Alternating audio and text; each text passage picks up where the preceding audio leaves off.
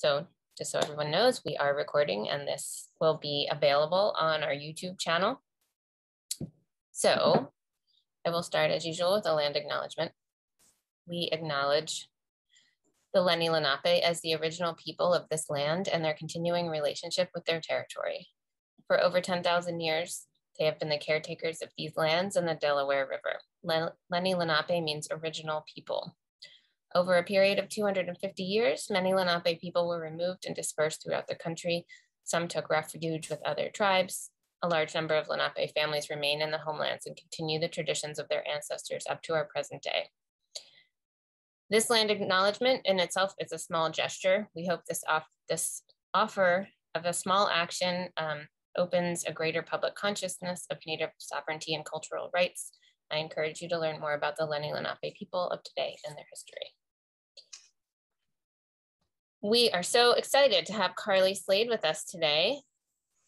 Um, Carly is one of my favorite people. She was in Philadelphia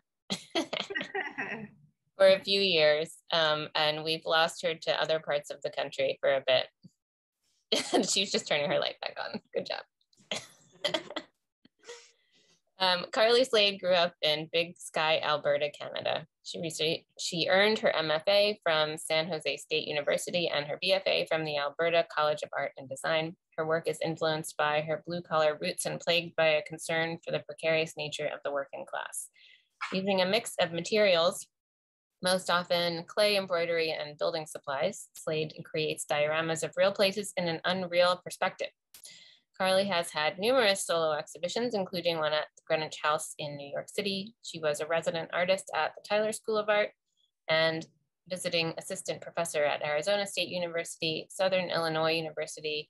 She's currently assistant professor at the University of Wyoming, which is why she's waiting for her furniture to arrive. Um, she has another major solo show coming up in St. Louis at the Sheldon and also one at the University of Wyoming Art Museum. Welcome, Carly. Thank you. Thanks for having me. Um, so the reason we're having Carly, besides that she's amazing, is that she has an exhibition at the Clay Studio right now, and it is a fabulous sculptural model of the current Clay Studio building at 137 slash 139 North 2nd Street. So if you're in the area, please do come and see it. It's worth spending time with. Uh, we'll look at some photos a little bit later on, but um, it's really wonderful in person. So we're just gonna dive in like we usually do and ask the big question, how and why did you make the brave decision to make your life in art? Whoa. Yeah, it's funny because you know you told me that question yesterday, and I've been thinking about it, and it was like a it's like a series of moments more so than um, one. I think, and for me, especially finding clay was kind of like a fluke in a way. I went to art school uh, to be a painter, like I think most people do. Although I lied to my parents and told them I was gonna be a designer because then I'd have a job. Oh, a lot of people uh, do that too. I think yeah uh, and i took a ceramics class just kind of like oh i wonder what goes on down there um, and within a week or two just felt like head over heels endlessly in love um, i think that i decided fairly young that i wanted to be an artist. I think when i decided to go to art school i made that decision and then i always had this belief that like somebody's got to make it so why not me? That's like what i would always say to all of you know the people that are like what are you going to do with your art degree? Or what are you going to do when you grow up? And it's like somebody's got to make it so why can't i you know? Everybody there's somebody gets to be um I was gonna say Britney Spears, but hashtag free Britney Spears. That's a whole thing. Somebody gets to be the celebrities, the actresses, the artists. So like, why can't that be me? And just kind of like devoted to putting in the work that was needed to get there. Um, I think that a lot of artists, a lot of makers just have this innate drive inside of them to make, and there's no kind of resisting that, and there's kind of no other option. And it just is what it is. So I feel like in a lot of ways, I was kind of like given no choice and then had to go about figuring out how to make it work. Yeah. What what do you remember when you were a kid about like you said you were you wanted to be an artist why? Like, What was it that you were? Oh, I don't think I realized that until high school. and that's because I took art class because I knew I could skip it to go snowboarding. Because that's what you do in Canada. real yeah. And then I was like, hold on, I love this. Uh, I think as a kid, you know, my parents always put me in lots of different like craft classes and art classes, and I always really loved it. My mom is a pretty epic embroiderer. And now she's taken up basket weaving. So there was always lots of like arts and crafts and things going on. Uh, my dad is an electrician and he did a lot of like renovating the house and building things. So there was always this like high value for like the handmade trips to museums and those types of things. So I think as a kid, I always like intrinsically knew that it was something that had a lot of value and something that I was drawn towards and something that was like honorable. Um, which is definitely something I still see a lot of in my work. I love that word applied to the making art. Yeah. It's got what a about, U in it though. Hmm? It's got a U in it. Oh, okay. I'm, I'm writing it with a U. Thank you. Thank you. It's got a U.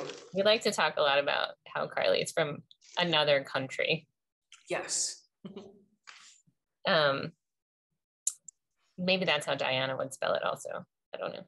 Honorable with a U. Um, maybe. Okay.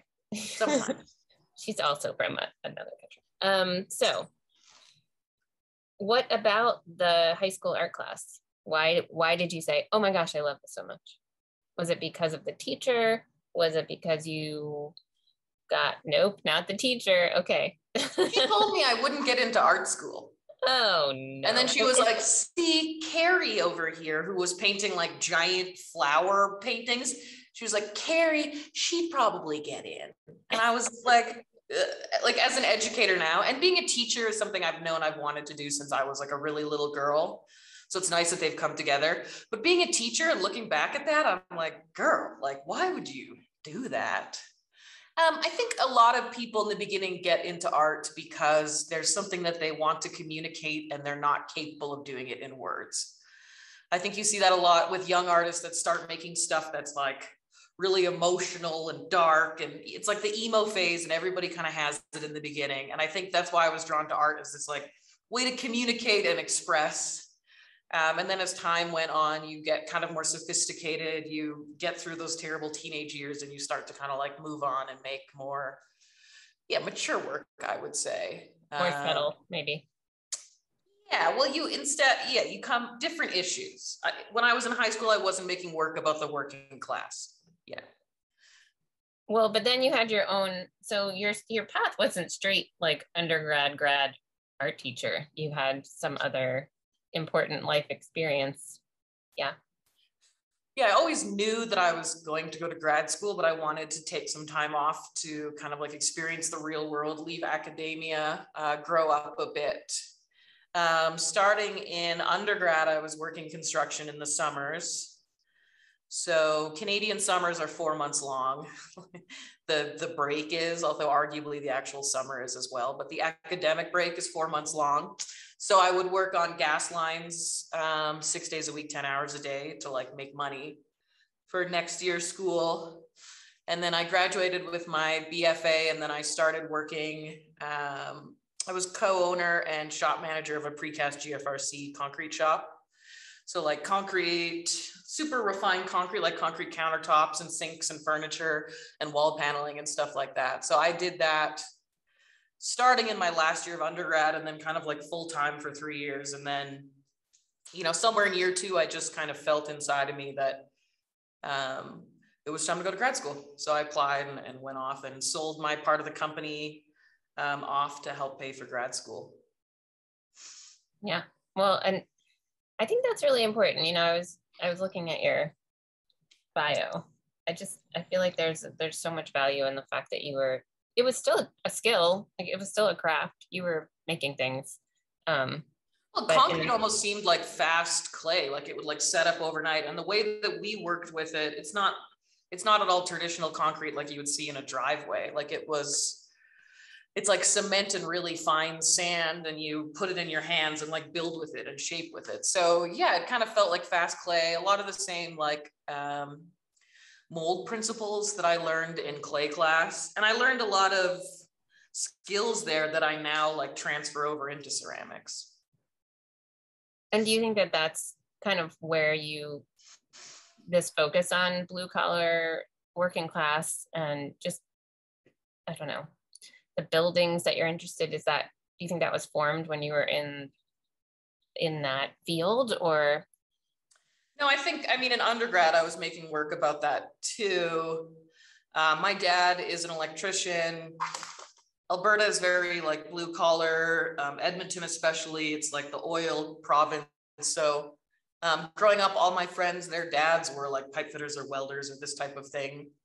Um, so that's always just been kind of part of who I am and a lot of the like culture, which is interesting now moving here to Wyoming, which is also an oil state and uh, interacting again with that kind of like macho, get her done kind of culture is interesting. But um, I think I've always just been pretty in tune with that, especially as a kid. Uh, like when the oil markets would crash and seeing like the stress on my parents' face, the stress on my friends, like people losing houses, people losing trucks, all of these things. It was just like always very tied to who I was. And then as a girl, I was a total daddy's girl and followed her around and wanted to help him with everything, wanted to know how stuff was made and collecting little bits of screws and washers and things that looked cool. Like it was kind of inevitable. And in undergrad, I made a lot of work using um, like pipes and hammers, a bit more kind of uh, on the nose. Um, well, I want to I want to both show people images of your work because it's so, um, you know, connected to what you're saying, and I also want to sort of keep talking about the fact that when you came to Philadelphia, you were, you know, and we connected on architecture, and you got so excited about learning about the architecture of Philadelphia, which was exciting to me. Um, and we had some really great walking times around Philly. Um, I guess I want where am I going with this? I want I want you to talk about like why you love architecture, why you love buildings, and then really it's old buildings and it's buildings that show the um the marker of having you know existed through various time periods and and different um, owners and a lot of dilapidated buildings. Um, so I also am kind of desperate to ask you if I can't remember. Did you ever go visit the Mercer Museum? Is that that old crazy house? Well, yeah, the Fonthill oh. and Mercer and the tile works, but they're made out of concrete. And I don't think I ever like connected that enough to bring you up there. And it's like three giant buildings made of concrete. And I totally should have taken you there. Sorry. Well, and the, the residents went there not long ago and I saw that on Instagram and was like, man, I, yeah, I'm kicking myself for not doing that. Yeah. That being said, post pandemic, I would love to come hang out in Philly again. And if you want to take me on a guided tour of the Mercer Museum, I will definitely do that. Oh, that's so exciting. Um, so, why do I love buildings? I mean, I think because uh, working construction, I've been on crews that are building houses and been in that culture. And I think it's endlessly amazing that a bunch of us, like little human ants, clear this place, this like chunk of land, cut down trees, and like build this house all these trades work together. Um, you know thinking about the people as somebody who's hung out on sites and made friends and you know you're having a coffee break a smoke break and you're chatting about life and you learn about somebody's kids and mom and pop companies and like i think about all of the people and lives that went into the building of the building.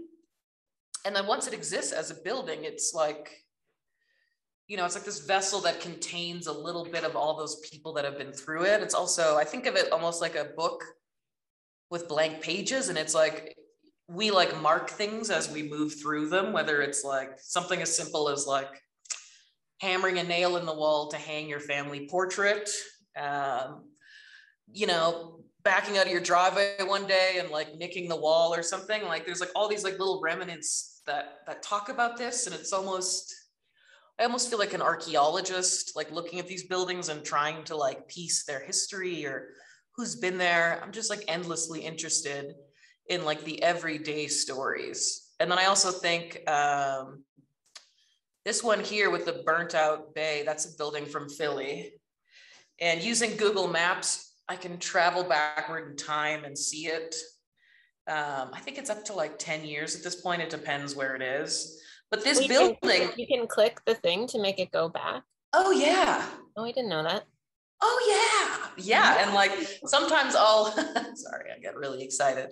Um sometimes I will intentionally like make a building based off of it like four or five years ago, depending on what narrative I'm trying to talk about. Uh, but this was it at that time. Since another photo has been taken of it, so it's gotten a bit worse. But I was able to go back in time and you can see the building, you know, kind of not healing itself, but being in better and better condition. And in the last one, you can even see people like sitting on the front porch hanging out. Yeah, and it's like so interesting to be able to see that history. It's really endlessly interesting to me that that history is captured in a Google Cloud somewhere. And then I have also gone and made this like ceramic replica of it that could arguably last 10,000 years. Um, Yeah. Yeah, it's just kind of endlessly fruitful. I'm interested in like history and politics and people and all of these things. And a building is, it's just, it's all there. It's all in there. That's actually so. I've I've talked about this before, so sorry for people hearing this again. But if you look at my wall, um, that that's not wallpaper. It's actually the glue that was used to attach the fake wood paneling that was here when I bought the house. So somebody was applying the glue on the wall, and I'm I I can't bring myself to cover it up. Yeah, like that was somebody's hand. I mean, we talk about that a lot in pottery, like seeing the artist's hand. Yeah, it's like I very similar. it's this like gesture that they weren't thinking about anything except making it look making it enough glue to get it on the wall to get the thing on. unless maybe he or she were was maybe they were thinking like oh i'm making a little swirly flower thing and they thought no one else would ever see it or i don't know it's related to that idea of like you know Well, I'm talking about gender. That's part of it for me as well. Um, you know, when I was working in construction, I was one of the only women that I knew working in construction, and uh, you have to work twice as hard. You don't get much respect, like all of those things. It was always this like boys' club that I wanted to be a part of. So there's something in this building. These buildings too. there's also this like sense of like longing or uh, making it mine, or in some way finally being able to be more a part of that process. Something there. yeah well then traditionally it was all men. I mean, now I think we understand gender as something more fluid, and I think now there are more women in trades, but still back then and even now, it's, it's definitely Yeah, yeah it's definitely not equal um so here's another i assume philadelphia um, So I used to drive past this every day, and it's actually pictured. The awning that's on it is the awning from five or six years ago. I'd have to go back and look at my notes. And I chose that one uh, because of the flag on it. the flag believe- on it oh the flag yeah I believe what it's kind of flag Rico, but I don't want to be wrong now. Yeah i don't know I had Googled it previously, but the awning of that building was fascinating because it started as this one with this flag, and then over time it changed. Uh, the flag went away, the name got changed. You know, whoever owned it 10 years ago, were they part of maybe like a large flux of immigrants to that neighborhood, and then that moved on? hmm did they not own that business because it went under and that was hard for their family or did the business go well and they moved on to another business? You know like every corner stores i'm especially mom and pop ones especially fascinated by because they talk about like a family. I grew up across the street from a corner store um, owned by pat and i actually did my whole thesis on that store so i'm partial to them. Yeah that's great. They are there's so much about the neighborhood and um, about the family that owns it but about the people who come in every day and um, Well, and I, I've done talks before and talked about Pat's corner store, and afterwards, people come up to me and tell me about their corner store. Like these are like very universal things, whether it's a corner store, sushi spot, like some type of restaurant. Like we all have these kind of like Im, informal relationships with people. yeah and the fact that you can walk in and if you go all the time they say hello and know your name and it, it's really uh it's part of humanity Mhm. um so then you also this one the first one we saw you was on a table and this one's built onto a chair. And I just also want to make sure everyone can see in the awning, I think was embroidered cross stitch and then this one's embroidered. So yeah, this one's found embroidery. Sometimes I do the embroidery and sometimes I use found embroidery. Um, when I want it to be quite specific, I'll make up a pattern and do it myself. But this one is found embroidery. Um, and there's something about, you know, I'll go into thrift stores and find these for a couple bucks, um, tossed to the side, probably going to get thrown out. And I buy them and I take them home and I kind of repurpose them. And I think again about like honoring the labor that this probably woman put into this textile and um, putting it, elevating it hmm, to an art gallery and putting it where I think it should be seen. I think often like um, crafts that are viewed as historically feminine are maybe relegated to hobby uh, more so than fine art. Like I think you're more likely to see an exhibition of wooden tables than an exhibition of quilts. And again, I think we're getting better, but um, so yeah, I almost feel like it's like a special power I have as an artist to decide what can and can't go into a gallery, what should and shouldn't be there. And to yeah. me, that's like beautiful needlework should be yeah wow that's a, a good i love the idea that the artist is empowered to to make that choice you know you say it's art and so that's it has to be accepted on that level which is important. I mean sometimes it really is about self-determination. Um these are two different so and these are more you know different kinds of structures a little bit i mean less not so dilapidated but um definitely still having that aspect of you know the the people who live there and and all the the little bits that they've added and yeah these are both um, from canada so maybe that's why they're a bit younger. One is from my hometown edmonton alberta and the other one's from calgary alberta where i went to school. And they're both buildings that were made probably in the 80s or 90s um, like this show um, is called okay google take me home and often when I say that, my phone, yeah, my phone just turned on. God, always. Because you uh, because it was a show about moving a lot and what is home and where is home, uh, and that every time I move, I'll say I'll enter my home address into my phone, and then I'll just tell my phone to take me home. And how presumptuous is my phone to call it home when it's not a home, it's a house. Blah blah blah. Getting real artsy. um, but those ones are kind of a lot about growing up in Alberta and uh, economics at that time. Yeah. Okay. Um, and then this is the one that was, that was at the Clay Studio for the Clay Studio National a few years ago when you were um, living in Philly and other Philadelphia. So you you moved to Philadelphia and you you know you moved to Brewery Town, I think, right? And um, you just seem to immediately get um, excited about all the buildings that were like this around you and had all these layers of information? I mean, I, to be honest, at first I was like really upset by Philadelphia and uh, really sad for the first few weeks I lived there.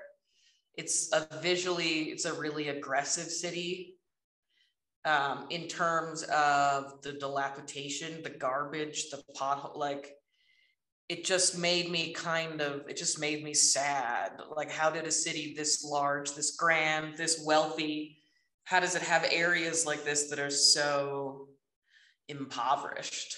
Um, and when i lived in brewery town i suspect the gentrification has swept right through it because when i was there it was like six blocks down coming at me. Um, i had and a lot of it too i mean the buildings growing up, we watched TV and a lot of it's American TV, and we're always told TV's not real. And then I moved to Philadelphia, and in Philadelphia, TV was real. And all these buildings that I saw on TV were real buildings, and people really did throw out piles of tires in lots. And it was just, it felt like, yeah, TV was real, but it was like, it's just a not a good narrative. So I was like really struggling with how to love this city when it seemed like it was struggling so much. And it was in these buildings and in this like Philly kind of DIY, like get her done spirit that I like started to get excited and saw this like perseverance. And these buildings are beautiful and they've got this like ornate molding at the top. They've got like stunning, um, what are the stairs made out of? Um, the King of Prussia marble or Yeah. Pennsylvania blue limestone. Yeah, so you can see on all these buildings, all these details of like craftsmen that were there and all this time, and the idea of Philly being these row houses as this way to kind of like democratize people owning homes and and then you can see the spirit that was there and coming back. So once I kind of saw that spark, I was like all in Philly, deep, deeply love it, miss it all the time. And it's like continued to inspire my work till now. Well, that's I, I I loved being you know knowing you when you were going through that process and the I love Philadelphia and and yeah it's partially because it's it's not perfect um, no place is perfect but Philadelphia has a lot of issues but the, it, there's also so much great stuff and so such a spirit of like you're saying sort of perseverance and grit sorry gritty to steal I love gritty. I love gritty. Speaking of, yeah, I remember I've been living in my apartment for like a couple weeks and somebody um, opened a fire hydrant down the street from my house. And I just about called the city to like report it because I thought that it was like, uh oh, I better report this. and then I like saw a kid go running past and was like, oh, no, no, no. Like, this was like done on purpose. Like this again, I was like, whoa, TV's real. People actually do this to like cool down in the summer. And like, I'm not gonna be the like white foreign girl who moved into the neighborhood and like reported it to the city. Like, just you do you enjoy your fire hydrants. And then it became this really amazing thing that I saw all over Philly and like kids having fun and people playing. And yeah, so I made these for Christmas ornaments a year or two ago. I think I might make them again. I really liked them. I love them. Uh, and it's not always actually illegal even to open the fire hydrants. Sometimes they, um, firefighters will go and do it and they, or sometimes people have a special key that they're allowed to, Oh, Mhm. cool. Yeah, Good. because they know it's hot in the city. Yep. Oh, yeah. Um, speaking of more Philadelphia. I was like, why do you guys have a broken bell? Like, I don't get it. So I closed it for repairs. I also, when I lived in Philly, got really obsessed with pylons, which you guys call traffic cones, because they're everywhere and they're public property that people then steal to then dibs public property that is parking in front of their house for themselves, which to me is just this like hilarious, like, what? And like, what is the city's budget on pylons yearly? Because it must be just astronomical. Because everybody's yards, there's like a stack. One day I parked by Tyler campus, I don't know, three or four blocks away. And on my Instagram, I did like a, a pylon count on my like three or four block walk. And it was like 60. Like it's crazy. There's so many pylon. And if there's like a pothole that's like eight feet deep, they just like toss a pylon into it. and they're like like- Yeah, and they're like, got it. I'm like, no, no, you can't just keep. They like they just like fill the hole with pylons, and they're like. I just it's hilarious and like endlessly interesting. So I made a lot of pylon things in Philly. So yeah, these are shot glasses. That's great. Uh, Jennifer Baldwin in the chat wrote Sammy's Space Savers. I guess that's some people call them that. I don't know. I never heard that. It's good. I was getting messages from people in Australia saying they call them witches hats there. I think, which I thought was Makes pretty sense. cute. um, and then that brought you to your trash candles. Yeah the last you know year year and a half at this point it keeps going on. Um it's been really hard for everybody. Uh, and i found myself especially around the election with covid just being like really angry and wanting to make black lives matter all of these things going on. And as somebody who consumes politics it was just a lot. Uh, and i found myself wanting to make really angry art and then thinking that like that wouldn't be healthy for me and that there's already enough kind of anger out there. And i think that human is or human humor is a really good uh, medicine palate cleanser like Coping mechanism. yeah like we might as well laugh about it. So i you know i've always said that things were dumpster fires and 2020 really felt like a dumpster fire. So i was like okay well let's make some dumpster fire candles um, it seemed obvious. A couple people had even like sent me um, pictures or like memes or something of like dumpsters on fire and they're like you need to do this and i was like yeah i do. So they're dumpster fire candles um, and trash candles um, and inside of them there is the missing 2020 ballots. I found them. They're in my candles as well as um, bottles of hand sanitizer and rolls of toilet paper. Uh, and i thought that like that wouldn't still be funny or valid, but I they I could keep making them. They still would be. But I'd like to change the items inside of them. But until we stop fighting about the election and COVID, I guess it still makes sense. It's relevant. But yeah, those were a lot of fun and like small um, things that I could kind of like share with people. I had a lot of fun making those. I'm probably going to make more uh, around Christmas because I do like them. Yes, Carly's going to be in our ornament exhibition. Stay tuned. Oh, Vanny.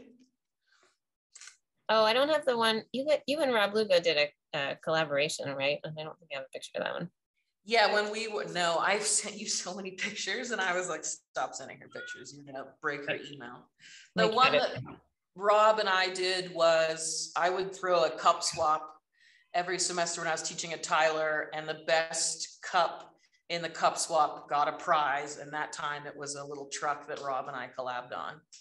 So I made a little truck and then Rob um, graffitied it. Yeah. Um, this is, oh, hold on. Oh, sorry. Yeah, Vanny. This is an actual van. There's, a, I could talk about this van for a long time. It's a van that I probably have like 300 photos of that was in a lot by Tyler that I would document every day as it got moved around and broken into, and as the lot beside it got cleared out, and this like hideous new build went up beside it, and just an interesting kind of signifier of gentrification again in that area. Cat. Cat problems. Uh, okay. yeah, I had a lot of fun making these little pieces. Philly Love Trolley. Uh, I made this for one of my students there, uh, surprise anniversary gift, I believe. Um, her grandpa designed those trains. Really? Or was part of the team that something, so she had a really good connection to those trains. And then the the O and the V come apart, and those are shot glasses. I got really into shot glasses because I found that I can make pottery. to, to be like a potter, you just got to have a hole in something that you can pour some booze into. So, boom, I'm a potter all of a sudden which I'm not, and I highly respect potters, but this was my way of being a potter. I have something functional, yeah. Well, I'm excited because where the new clay studio building is, um, between my house and the new clay studio is the 15 trolley. So I'm hoping to be able to ride one of these trolleys to work every day. Oh my God, that'd be so lovely. I never got to go on a trolley. I need to make a list of stuff I need to do when I go back. Speaking of the Clay Studio building, so I have some of your process shots in here. You can tell people about how you build the structures. God, this thing is big. I think this is the biggest one I've made. I didn't think so, but I've since handled some of my older ones, and I'm pretty sure this is the biggest one. So they're made in two point perspective, um, three dimensionally. So two point perspective is a way of drawing three dimensional things flat on paper where your vertical lines are all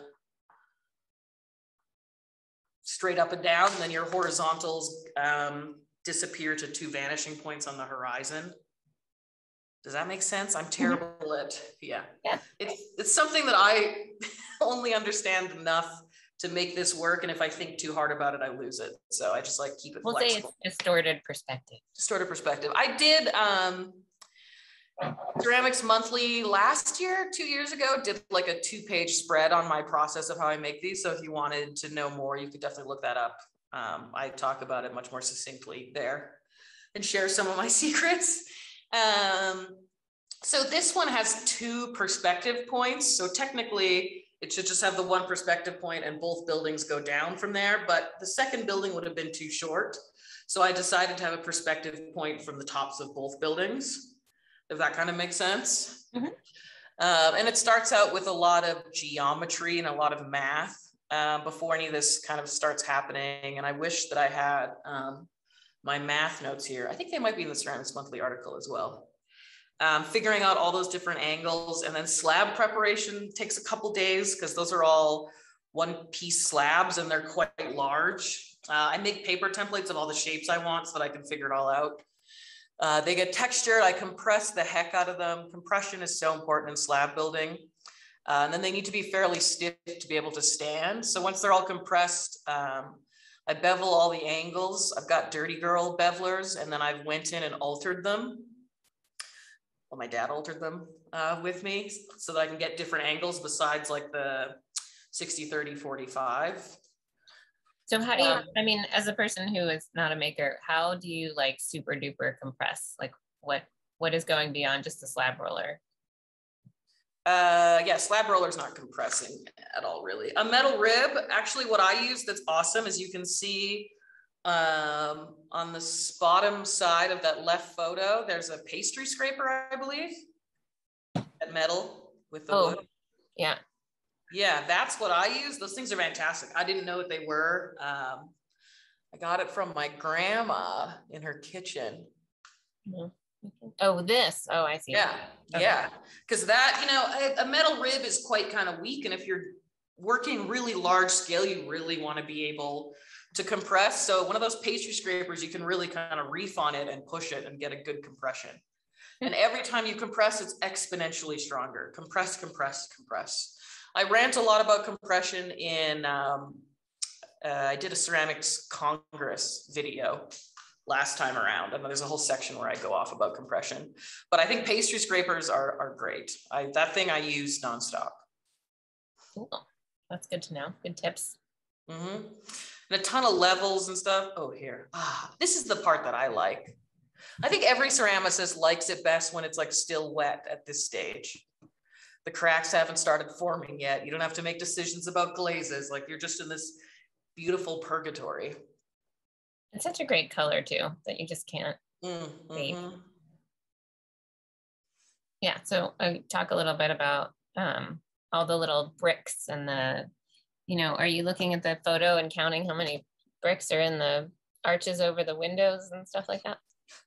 I do, but it doesn't always work out. I try as close as I can, but there's kind of like a limit in how small you can make things in clay before it just starts to look really sloppy.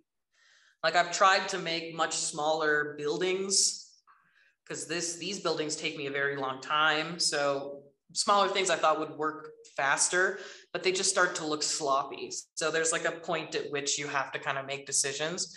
But I do count all the bricks and try to make it about right. Um, the bricks are all one by one done by hand because they have to be at that same perspective. Like a lot of people are like, why don't you get a stamp?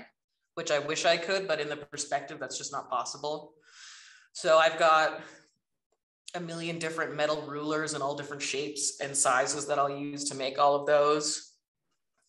Um, cutting out the windows is probably the most um, dicey time because a lot of those little pieces of clay will want to crack off. Um, so with those windows, I use a drill bit and remove as much material as I can before I actually cut. Because when you're cutting in clay, you're not removing the material, you're just pushing it apart. So that mm-hmm. pushing is, is likely to kind of push somewhere else and break off one of those little supports. Mm-hmm. So I've got a bunch of drill bits and I'll sit there and I'll drill out as many as I can. And then I'll just kind of try to like shave off those edges.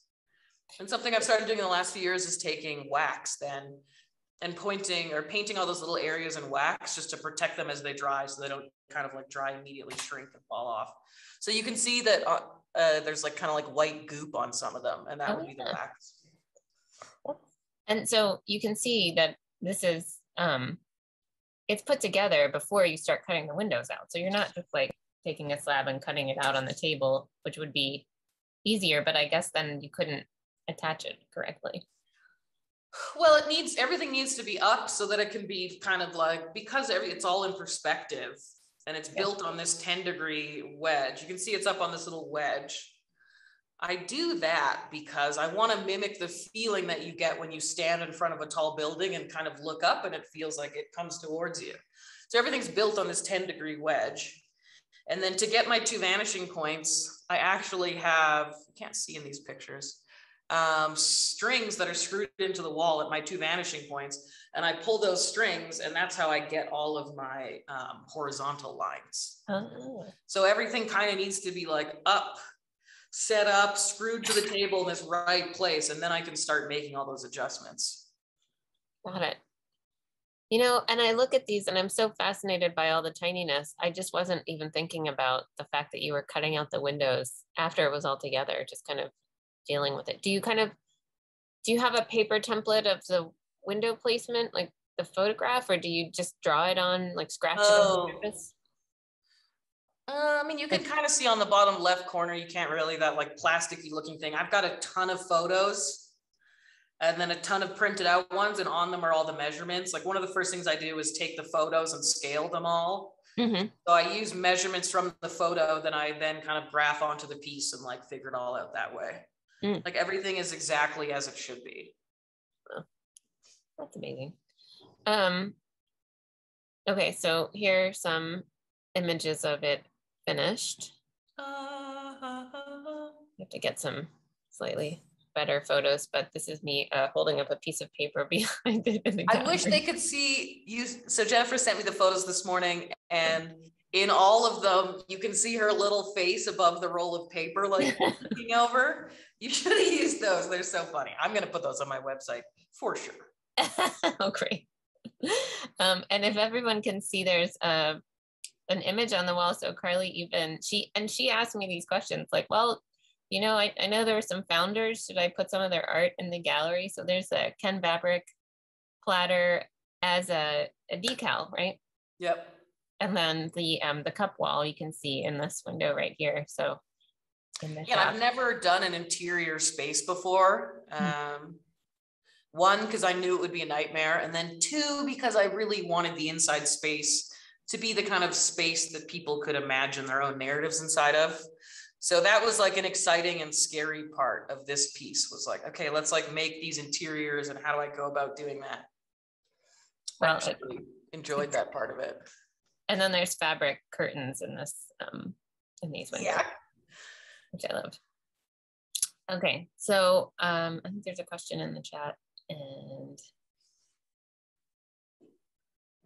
i'm going to read a couple of the, the chat comments and then if anyone has questions um, we can ask Carly and then go back to some conversation. So Diana said, buildings are about community and civilization. Civilization, I can talk. They're tremendously vital. So I love that this is your focus. I love the elevating of ordinary little houses into iconic pieces. Really nice and refreshing since usually only expensive houses are given this attention. That is mm-hmm. very true. Um, Raymond says, I've always liked Philly's grit, especially along the river and the railroad tracks. Also, it's horrible what they're doing to Britney. Thank you. Free Britney. um, Jennifer Baldwin. I lo- oh, she likes that it's the 23 trolley line because it doesn't exist anymore.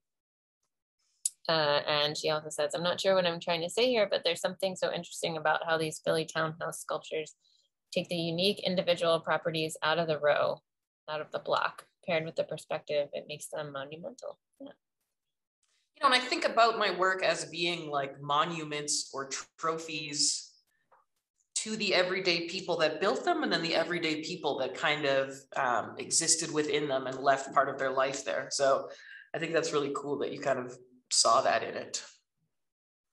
I, I think that's part, you know, that's part of what, why we started talking and, and had a lot of um, simpatico. Is there an English word for that? Um, because part of why I've always been interested in historical decorative arts is that same thing. It's like somebody, a craftsperson made this object, and there's so much interest in that part of it. And then a person used it and it maybe got passed down. And so it has all the information about both of those. And again, in the decorative arts, you know, in that field before I kind of entered the contemporary craft and then clay world, it was 18th century furniture and who owned it and which families owned it and which house was it in. And they, there wasn't that you know people talk about the makers a little bit but they never talk about them in terms of them being like working class people who were just you know talented skilled tradespeople making stuff and what their lives were like.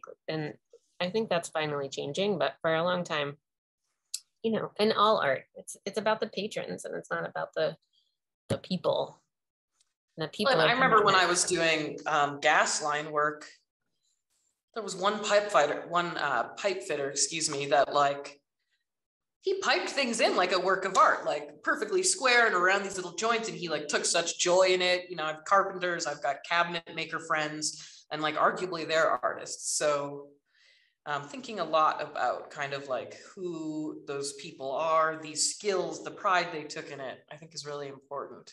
And yeah, I don't want to see another mansion. I don't care. I think especially now when we're kind of coming to terms with the grossness of wealth hoarding and those types of issues, like I'm interested in like the people that actually made it work.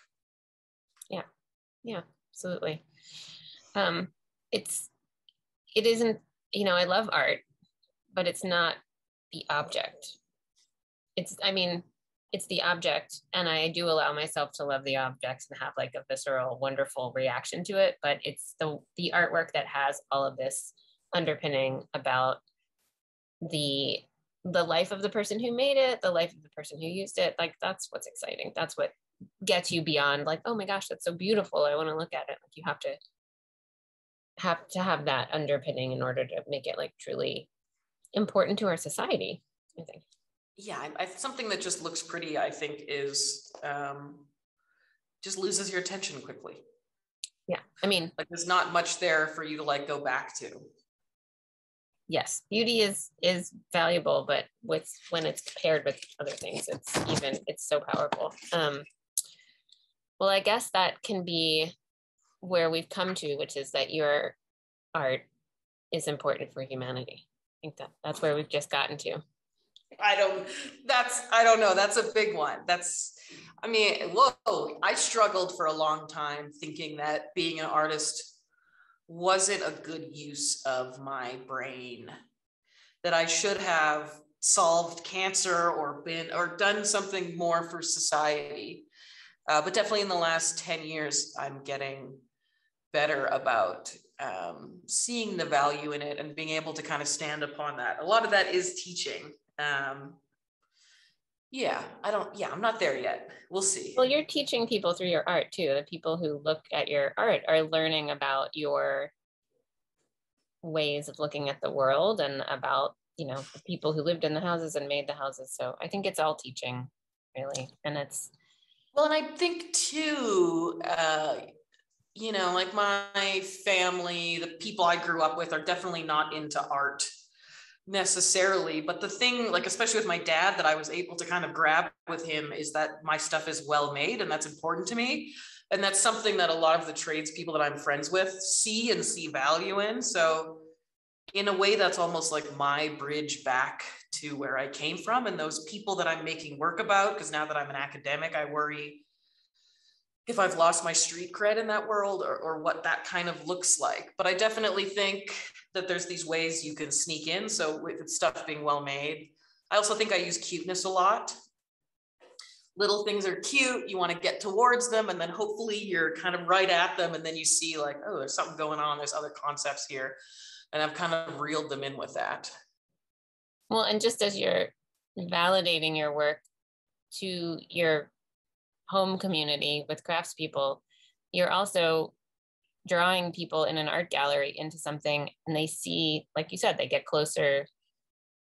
And I think that what you're also doing is showing the value of that skilled labor to those people who might not think about it, who might value a piece of art more than like a really well made wall. But when they're looking at your artwork that is a really well made wall, how can mm-hmm. they not help to look at those things in their own surroundings when they go back into the world. So you're kind of um, That's bringing the worlds together in that way. Mm-hmm. That's true. Um, also, cuteness, I believe, along with beauty, is a biological imperative. And I don't think anyone should ever, you know, apologize. I appreciate that you own the cuteness. Humans are attracted to things that are cute because we're supposed to protect yeah. them and I often like to walk right along the line of like cute kitsch, like you went too far. Um, you know, things like uh, like beading and embroidery and adding all these other little dimensions. I, I like to kind of live right on the line of she went too far. Well, and also your cute things are lately at least kind of dirty and disgusting. So you're really you're you're you're not um confusing cute. Got two, yeah. You, Yeah. You've got those, uh, di- that dynamic combination. Mhm. Anyway, does anyone have any other questions? Be happy to, um, if you want to take yourself off mute or put something else in the chat. I've had a really lovely time talking to you, Carly, as usual. That's true. We did this yesterday, arguably. Although yesterday you guys missed Jennifer and I trying out all the different um, Zoom filters and, and putting hats and stuff on ourselves. It was really professional. Yeah, that was awesome. Thank you for sharing that with everyone. No, it's good to be. And th- this, the beauty of the lunch and learn is that it is casual and we don't It's worry about. Yeah, it's cash. Yeah, we don't we can't we couldn't do this that's why it's fun to do it every week okay all right well it looks like everyone is happy and no more questions if you do have more questions i'm sure carly would be happy to answer them please come to the clay studio and see her amazing sculpture in person it's so wonderful you really have to spend a long time standing in front of it so good luck in in receiving your furniture i hope you have a lovely afternoon No, I'm carrying it up three flights of stairs. There's nothing lovely about this afternoon. they're not carrying it up the stairs for you No, you know how much that costs? I'm an artist. I don't have mover money. Come on. I'm Oh, paying a no. Fee. If you were in Philly, we would all come and show up and help you carry it up the stairs. That's the final part of the lunch and learn. Well, thank you. okay, now we have to move the furniture. Yeah. All right, everybody. Have a lovely day. Thanks so much for coming, guys. So nice to see so many familiar faces. Okay. Thanks, Carly.